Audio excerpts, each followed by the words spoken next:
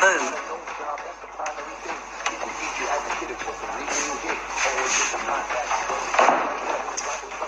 So, is uh, Sinead working today? Nope. Shame. I was hoping to continue our little chat from yesterday about the murder of D.S. Trent. Perhaps